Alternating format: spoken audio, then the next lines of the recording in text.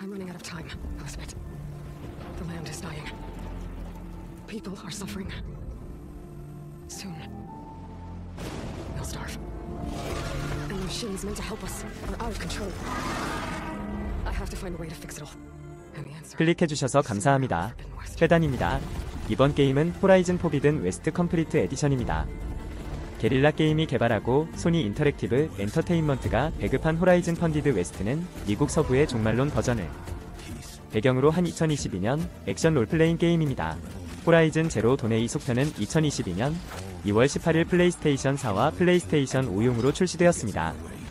게임 플레이는 3인칭 시점에서 플레이되는 플레이어는 동물적인 기계로 가득 찬 세상을 항해하는 사냥꾼 알로이를 조종합니다. 이 게임은 이전 게임보다 더 큰 지도로 캘리포니아, 네바다 및 유타를 포함하는 광범위한 open world를 특징으로 합니다. 수중 발견을 통해 향상된 탐험과 벨러서지 시스템과 같은 향상된 전투 역학비 탕해 및 전투를 위한 다양한 도구를 포함합니다. 이야기는 젊은 사냥꾼이자 과학자 엘리사벳 소백의 복제인간인 알로이가 신비한 역병의 근원을 찾으면서 계속됩니다. 그 이야기는 플레이어들이 계곡, 사막, 눈 덮인 산, 그리고 수중 환경과 같은 다양한 환경을 통과하도록 합니다. 그 이야기는 유목민 사냥꾼들, 선진적인 미래 지향적인 인간들과의 갈등, 그리고 지구의 생물권을 회복하려는 탐구를 포함합니다. Guerrilla Games은 Horizon Zero Dawn 출시 1년 후인 2018년에 이 게임을 개발하기 시작했습니다.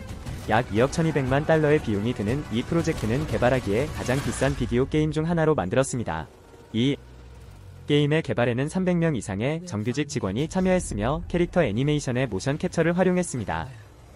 플레이스테이션 5 버전은 향상된 처리 능력과 맞춤형 solid state drive storage 덕분에 향상된 조명, 특수 물 렌더링, 시각적 효과 향상, 로딩 시간 단축 등의 고급 기능을 제공합니다.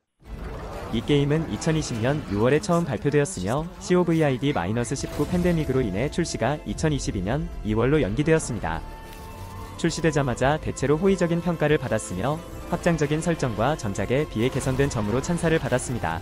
그러나 출시 당시 그래픽 결함 및 파일 손실 저장을 포함한 몇 가지 기술적 문제에 발생하였지만 매출 측면에서 Horizon Forbidden West는 출시주 동안 영국에서 디지털로 가장 많이 팔린 게임으로 2023년 4월까지 전 세계적으로 840만 개 이상의 판매고를 올렸던 게임입니다. 2024년 갑진년 청룡의 해입니다. 행복하고 건강한 한 해가 되길 기원합니다. 100만 구독자의 첫걸음 함께 동행해주시길 소망합니다. 회단이었습니다.